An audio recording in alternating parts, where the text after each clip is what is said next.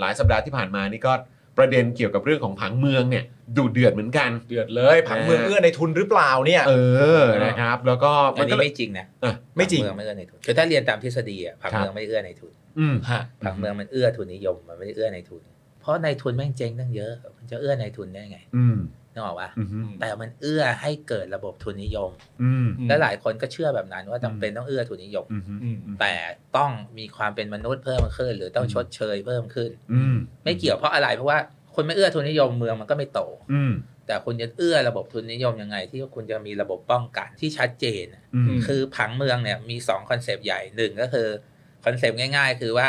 กำหนดที่ทางการพัฒนา แต่อืมสองคือต้องควบคุมการพัฒนาด้วยอืมมันต้องมีทั้ง development planning development control อืมคุณคุณไม่คือมันต้องไปด้วยกัน คุณไม่ย้ำเรื่องการควบคุมไงอืมคุณไปย้ำแต่เรื่องคุณจะกำหนดทิศทาง แต่ของกรุงเทพเนี่ยมันช้าไปแล้วอ๋อแล้วตั้งแต่ต้นเนี่ยมันมันก็ขยายกันไปจนเรียบร้อยแล้วแต่อืมอันนี้ไม่เป็นไร ดังนั้นถามว่าเมืองไทยต้องการอะไรสำหรับผมเนี่ย มันต้องการหลักเมืองไม่ได้ต้องการผังเมืองที่ผมคิดพูดเรื่องนี้ตั้งแต่ตอนผมเรียนจบมา 20 ปีแล้วอะอืมฉะนั้นทุกวันนี้เมื่อคุณไม่มีหลักการร่วมกันว่าชีวิตดีๆที่ลงตัวในกรุงเทพมันคืออะไรอะอืมคุณถึงต้องไปทะเลาะกันในเรื่องผังเมืองอะผังเมืองมันเป็นการเอื้อให้เกิดการพัฒนาที่ดินนะอืมอืมมันชัดเจนแต่ถามว่า เฮ้ยถ้าเมืองมันเป็นของเราอะ มันจะต้องไปเริ่มจากการพัฒนาที่ดินหรือมันต้องถามก่อนว่าเรามีสิทธิ์จะอยู่ในเมืองไหมอะอืมคุณกำลังเถียงกันแทบตายในเมืองที่คนแม่งอยู่น้อยลงเรื่อยๆแล้วคนแม่งอยู่นอกกรุงเทพอะอืมอืมคือมันมีเรื่องอื่นไม่ใช่ว่าผมดึงเรื่องออกจากผังเมืองนะครับประเด็นของผมก็คือว่าผังเมืองมันเป็นเครื่องมือเดียวอืมอืมแต่มันไม่ใช่เครื่องมือทั้งหมดเรายังอ่าไม่มี